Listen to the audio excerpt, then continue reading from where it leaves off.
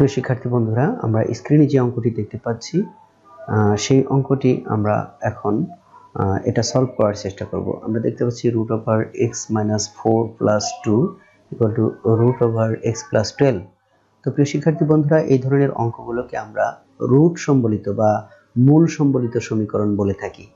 তো এই অঙ্ক সমাধান করার আগে আমরা একটু প্রাইমারি আলোচনা করে নিই।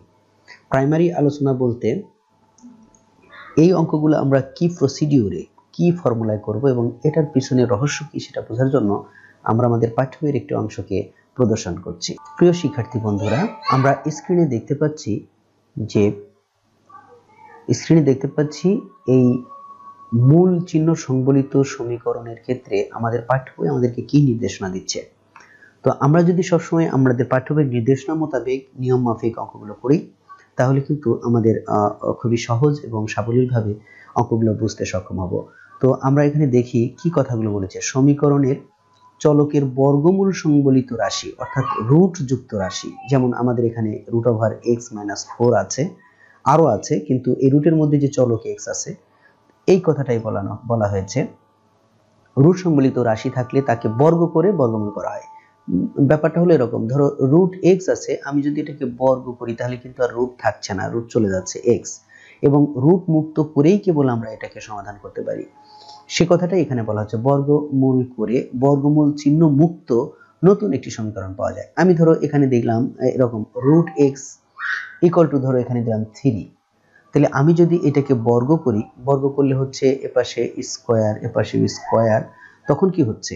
এক্স ইকুয়াল টু নাইন তো দেখা যাচ্ছে এই যে সমীকরণটা এখন থাকল, এই সমীকরণ কিন্তু রুট বর্গমূল চিহ্ন নেই এখন আর রুট নেই, বর্গমূল চিহ্ন মুক্ত। তো নতুন সমীকরণ পাওয়া যায়, ঠিক এরকম একটি নতুন সমীকরণ পাওয়া যায় বা এর থেকেও আরও বড় যেখানে রুট থাকবে না। তো উক্ত সমীকরণ সমাধান করে, এখানে তো আমরা জাস্ট সমাধানই এক্স ইকুয়াল টু নাইন দেখে ফেলছি। তো সমাধান করে যে মূলগুলি পাওয়া যায় অনেক সময় সেই মূলগুলো প্রদত্ত সমীকরণটিকে সিদ্ধ করে না, আবার অনেক সময় কেউ কেউ সিদ্ধ করে।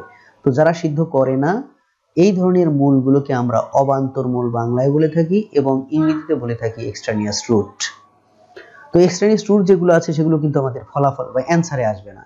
তো এই জন্য এই মূল মূল চিহ্ন সম্বলিত সমীকরণ সমাধান প্রক্রিয়ায় প্রাপ্ত যতগুলি মূল আমাদের হাতে থাকবে, তো প্রদত্ত সমীকরণের মূল কিনা, যে সমীকরণ, যে মূলগুলো আমরা পাবো তার সবাই এই সমীকরণের মূল হবে কিনা তা অবশ্যই পরীক্ষা করে দেখা দরকার।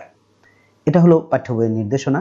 পরীক্ষার পর যে সকল মূল উক্ত সমীকরণকে সিদ্ধ করে, তাই হবে প্রদত্ত সমীকরণের মূল। তো নিচে কয়েকটি উদাহরণ পাঠ্য বইয়েও দেওয়া আছে। আমি এখন তোমাদেরকে অন স্ক্রিন কিছু উদাহরণ একটা দেখাবো যে এটার আর অর্থ কি আসলে। তো প্রিয় শিক্ষার্থী বন্ধুরা, আমি একটু হোয়াইট কালার নিয়ে নিচ্ছি। তো মনে করো আমি একটি সমীকরণ লিখছি। সমীকরণটা হলো twice x minus three plus five equal to আমি দিলাম এখানে ধরো থ্রি দিলাম। তো এটা একটা সমীকরণ সিম্পল সমীকরণ, এব- এই সমীকরণের রুট আছে যেহেতু, তো সেটা বর- বর্গমূল চিহ্ন সম্বলিত সমীকরণ, নিঃসন্দেহে। তো আমাদের এখানে যে হিন্টসটা দেওয়া আছে, আমরা এখানে যে হিন্টসটা দেখতে পাচ্ছি যে এই ধরনের সমীকরণগুলোকে আমরা বর্গ করে আগে রুটমুক্ত করি।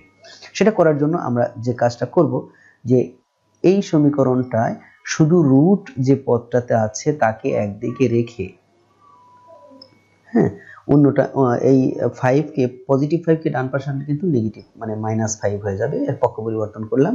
এগুলো সিম্পল হিসাবে এগুলো আমরা সবাই বুঝি। তো টুয়াইজ এক্স মাইনাস থ্রি এটা করলাম। এখানে কিন্তু আমার থাকল মাইনাস টু তো এখন আমরা কিন্তু এখানে দেখতে পেয়েছি যে আমাদের বর্গ করে বর্গমূল চিহ্ন মুক্ত একটি সমীকরণ তৈরি করতে হবে। পাওয়া যায় বা তৈরি তৈরি করে নিতে হবে আমাদের। তো আমি এই জন্য কি করব, এখানে উভয় পক্ষে বর্গ করে দিব। বর্গ করলে কি হচ্ছে? টুয়াইজ এক্স মাইনাস থ্রি এত ইকুয়াল টু মাইনাস টুকে বর্গ করলে কি হচ্ছে? স্কোয়ার পাশে আমরা বলে দিতে পারি বর্গ করে। আমি আগেই বলেছি, এটা জাস্ট একটি এক্সাম্পল আমি এখনও অঙ্ক করছি না। তো আমি এখানে কি লিখতে পারি? বর্গ করে কথাটা লিখে দিতে পারি। প্রিয় শিক্ষার্থী বন্ধুরা, আমরা আর একটু নিচে যাই স্পেস করে নিই।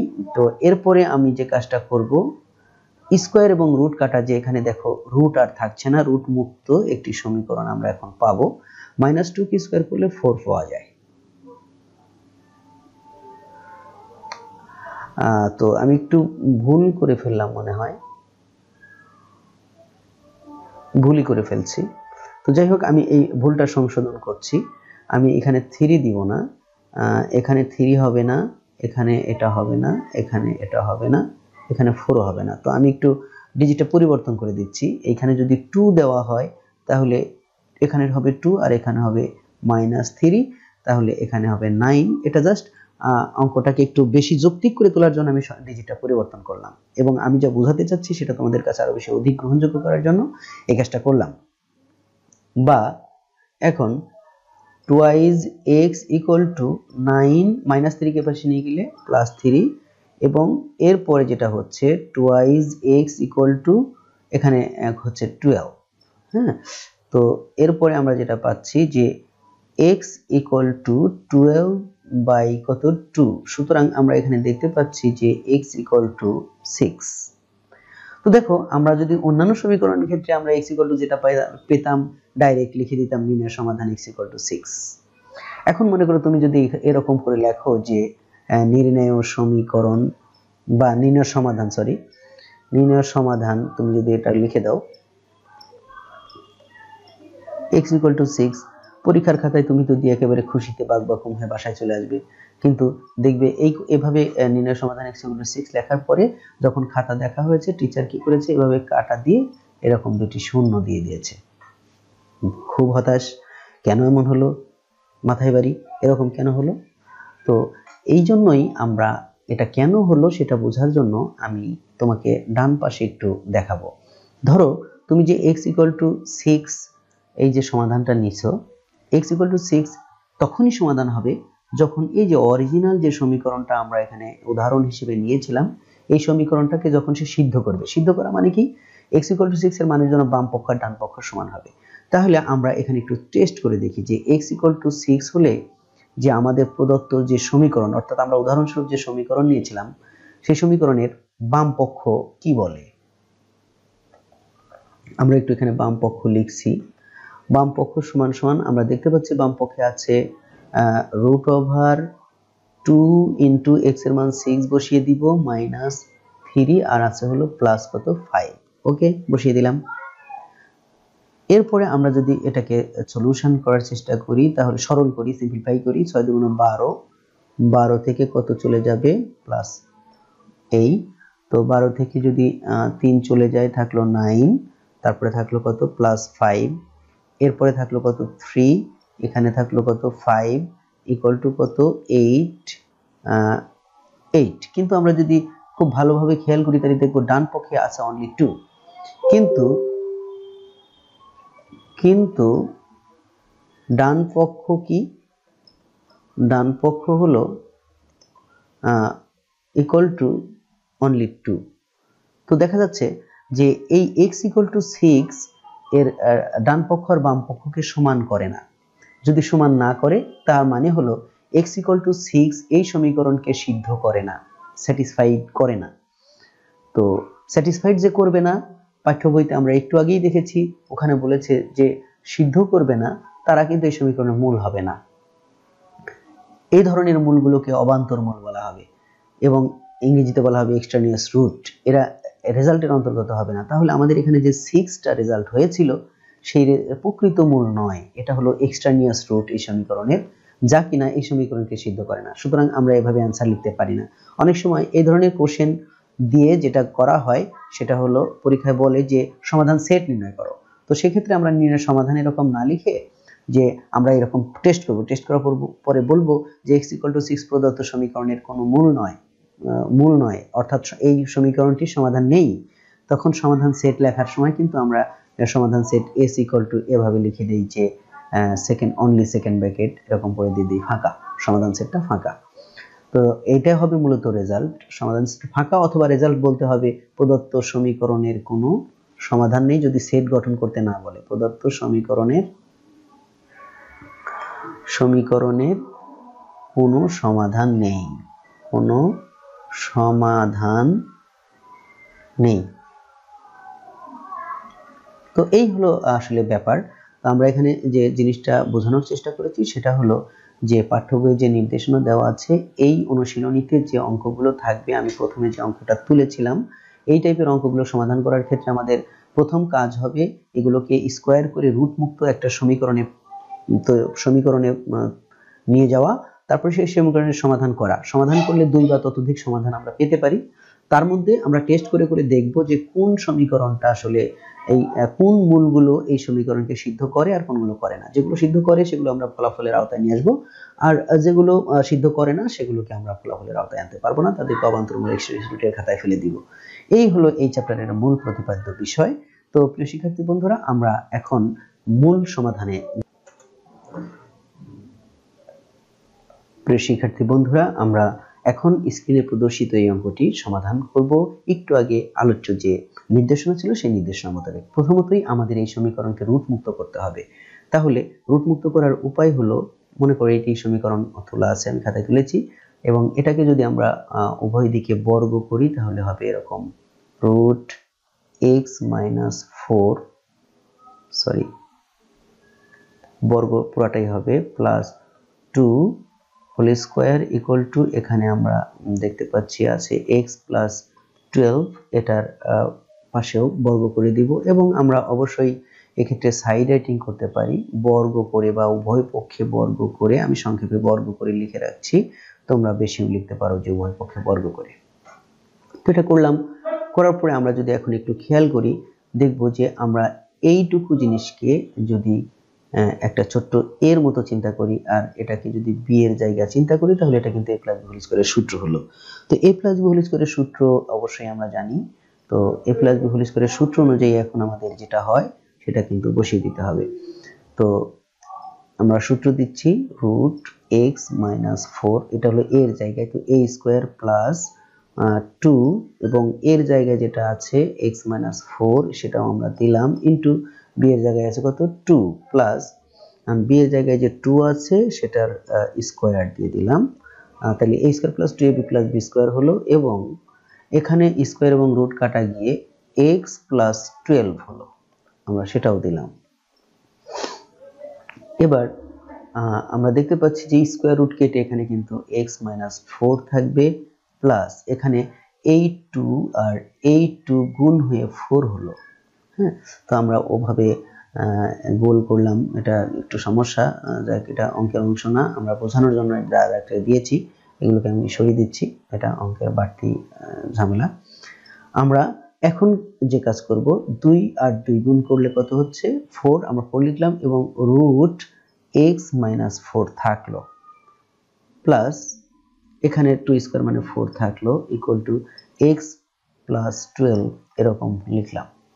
তো একবার বর্গ করার পরে আমরা দেখতে পাচ্ছি যে এই সমীকরণটা পুরোপুরিভাবে রুট মুক্ত এখনও হয়নি। নির্দেশনায় বলা ছিল এটাকে রুট মুক্ত করতে হবে। তো আমরা প্রসেসটা চালিয়েছি, দেখা যাচ্ছে এখনও রুট মুক্ত হয়নি। তাহলে এই রুট এখানে কিন্তু মাইনাস ফোর প্লাস ফোর এটা কেটে যাচ্ছে। আর এই রুট যুক্ত পদটাকে যদি আমরা এদিকে বাম দিকে রেখে দেই, এখানে এক্স মাইনাস ফোর রুট যুক্ত পদকে একদিকে রেখে এপাশে ছিল এক্স প্লাস টুয়েলভ আমরা দেখতে পাচ্ছি এখানে এক্স প্লাস টুয়েলভ ছিল। আর এই পাশের থেকে যদি এক্সটাকে পজিটিভ এক্সটাকে ডান পাশে নিয়ে আসি, তাহলে এটা কিন্তু মাইনাস এক্স তো পক্ষ পরিবর্তন করার পরে আমরা দেখতে পাচ্ছি এটা কাটা যাচ্ছে। কাটা গেলে থাকছে four root x minus four equal to এখানে থাকছে অনলি টুয়েলভ তো এটার সামনে যেহেতু ফোর আছে, এই ফোর দ্বারা এটাকে ভাগ করে দেওয়া যায়। রুট এক্স মাইনাস ফোর থাকল এক্স মাইনাস ফোরকে টুয়েলভকে যদি আমরা ফোর দ্বারা ভাগ করি, তাহলে কত থাকছে? থ্রি এবং আমরা এরপরে দেখতে পাচ্ছি root x minus four equal to only three এখনও যে সমীকরণটা আছে, এটা আকারে আকৃতিতে অনেক ছোট কিন্তু এখনও রুট সংবলিত। তো রুট সংবলিত সমীকরণ হইলে আমরা কিন্তু এটাকে একটু উপরে তুলে দিই। রুট সংবলিত সমীকরণ হইলে আমরা এটাকে আবারও বর্গ করে রুট মুক্ত করতে পারি। তো আমরা এখন বর্গ করব x minus four whole square equal to কত? এটা থ্রি স্কোয়ার তো পাশে পুনরায় বর্গ করে কথাটা লিখে দেওয়া যেতে পারে। এই সাইড রাইটিংগুলো না লিখলে স্কুল লেভেলে আসলে টিচার অনেক সময় নম্বর কেটে দেয় করে পুনরায় বর্গ করে। এটা হলো আসলে প্র্যাকটিক্যালি করা উচিত। না হলে বড় হইলে তো এমনি বাদ দিয়ে দিবা। ছোট থাকতে এটা না করলে মাথায় কাজ করবে না। তো স্কোয়ার রুট কেটে দিলে এক্স মাইনাস ফোর থাকে আর এখানে থাকে নাইন বা এখানে x equal to nine plus four পক্ষ পরিবর্তন করলাম। সুতরাং আমরা দেখতে পাচ্ছি যে এক্স ইকুয়াল টু আমাদের রেজাল্ট আসলো থার্টিন এই যে এক্স ইকুয়াল টু থার্টিন আমি যে এখন নির্দ্বিধায় লিখে দিব নির্ণয় সমাধান এক্স ইকুয়াল টু থার্টিন সেটা কিন্তু করতে পারব না। সেটা করতে পারব না। অন্তত আমাকে এই এক্স ইকুয়াল টু থার্টিনের জন্য টেস্ট করে দেখতে হবে এর বাম পক্ষ এবং ডান পক্ষ সমান হয় কিনা। তো প্রিয় শিক্ষার্থী বন্ধুরা, চলো আমরা এখন সেই বাকি কাজটুকু করি, যেভাবে আসলে ম্যানুয়ালি করার দরকার। তারপরে আমরা টেকনিক আরও পরে শিখব, অসুবিধা নেই, আমি টেকনিক শিখিয়ে দিব। কি করে এটা কাজ করা যাবে সহজে। তো এখন আমরা ম্যানুয়ালি যেটা কাজ করব, সেটা হলো লিখব এক্স ইকুয়াল টু থার্টিন হলে থার্টিন হলে, তো এক্স ইকুয়াল টু থার্টিন হলে এক্স ইকুয়াল টু থার্টিন হলে আমরা যে কাজটা করব সেটা হলো এই যে আমি যে সমীকরণটা আমার আগেই ছিল, আমি সেটাকে এখানে তুলে রেখেছি যাতে আমরা দেখে জাস্ট ব্যবহার করতে পারি। আমি এটাকে একটু রেড কালার করে আটকে রাখি, এটা কিন্তু অঙ্কের অংশ হবে না, এটা জাস্ট আমরা দেখার জন্য এখানে রেখেছি। বাম পক্ষ আর ডান পক্ষ দেখার জন্য এটা ব্যবহার করব। তো আমি একটু সাদা কালি করে নিই। এক্স ইকুয়াল টু থার্টিন হলে বাম পক্ষ। বাম পক্ষ কি? আমরা সেটা লিখব। এই যে এখানে দেখে দেখে দেখে একেবারে লিখব। Root x minus four plus কত? টু এটা ছিল বাম পক্ষ। আমরা যদি উপরে এই সমীকরণটা দেখি, তাহলে দেখো এরকমই ছিল। আমি এই জন্যই এখানে তুলেছি, এটা তো অঙ্কের অংশ না, আমি দেখার জন্য আমি তুলেছি। তো এরপরে এখন আমি এক্স ইকুয়াল টু থার্টিন হলে কিন্তু এই এক্সটা আসলে সরাসরি এখানে লেখা উচিত না। আমি এক্স ইকুয়াল টু থার্টিন যেহেতু বলে ফেলেছি, তাহলে এই জায়গাতে আমি থার্টিনই বসিয়ে দিব বাম পক্ষে তো এখন যদি দেখি, তেরো থেকে যদি চার চলে যায়, নয় থাকে প্লাস কত দুই। এরপরে এটা হচ্ছে তিন যোগ কত দুই। এরপরে কত হচ্ছে ফাইভ এটা হলো বাম পক্ষ হলো। এবং আমি যদি পাশেই আবার ডান পক্ষ করি। আমি যদি ডান পক্ষ করি, তাহলে ডান পক্ষে কি আছে আমি এখান থেকে আবার দেখে নিই যে ডান পক্ষে। ডান পক্ষে আছে root over x plus twelve তো এক্সের জায়গায় আমি কত বসাবো বলেছি এখানে? থার্টিন তাহলে আমি লিখব থার্টিন প্লাস টুয়েলভ তার মানে হলো এর পরের লাইনে যেটা হবে, এটা হবে টোয়েন্টি ফাইভ থার্টিন আর টুয়েলভ এবং আমরা অবশ্যই যদি একটু ক্যালকুলেটর ব্যবহার করতে চাও রুট ওভার আমরা এই ক্যালকুলেটর দেখতে পাচ্ছি রুট ওভার যদি আমরা টোয়েন্টি ফাইভ বা আরও বড়ো কাজের জন্য আমরা এরকম ক্যালকুলেটর ব্যবহার করি এবং আমার একটা রিকমেন্ড থাকবে সাইন্টিফিক ক্যালকুলেটর এগুলো ব্যবহার করার সুবিধাই বেশি, এটা করে দেখবে। তো আমরা দেখতে পাচ্ছি যে এটা কিন্তু ফাইভ হয়। তো আমরা দেখতে পাচ্ছি যে এখানে বাম পক্ষ এর মান কত? ফাইভ এবং ডান পক্ষ এর মানও ফাইভ অর্থাৎ বাম পক্ষ ডান পক্ষ সমান হলো। তার মানে আমরা বলতে পারি সুতরাং বাম পক্ষ বাম পক্ষ সমান সমান হলো ডান পক্ষ। হ্যাঁ এটা আমরা লিখতে পারি। এইটা লেখার অর্থ কি? এটা লেখার অর্থ হলো আমি বলতে পারি যে আমি বলতে পারি যে এক্স ইকুয়াল টু থার্টিন প্রদত্ত সমীকরণকে প্রদত্ত সমীকরণকে সিদ্ধ করে। সমীকরণকে সিদ্ধ করে। এই কথা আমি বলতে পারি। ইংরেজিতে বলা হয় x equal to 13 is satisfied uh, the given equation is satisfied by x equal to 13 এরকম করে বলা যায়। তো এ পর্যন্ত আসার পরে আমি লিখতে পারি যে সুতরাং নির্ণয় সমাধান নির্ণয় সমাধান যেহেতু তোমাকে সমাধান করতে বলা হয়েছিল, সমাধান এক্স ইকুয়াল টু থার্টি আর নির্ণয় কথাটা লিখলে আলাদা করে অ্যান্সার লেখার প্রয়োজন হয় না, ঠিক আছে? আর অ্যান্সার যদি লিখতেই হয়, তাহলে নির্ণয় সমাধানে তো, এরপরে অ্যান্সার আলাদা করে লিখে তুমি এভাবে থার্টি লিখে দিতে পারো, ঠিক আছে? এইখানে সরাসরি অ্যান্সার লেখার প্রয়োজন নেই। তো এই ছিল আসলে সমাধান প্রক্রিয়া।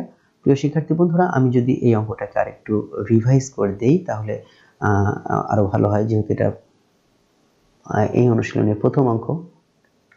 তো এখানে আমরা যে অঙ্কটা দেখতে পাচ্ছি প্রথমে নির্দেশনা অনুযায়ী আমরা এগুলোকে রুট মুক্ত করার চেষ্টা করব।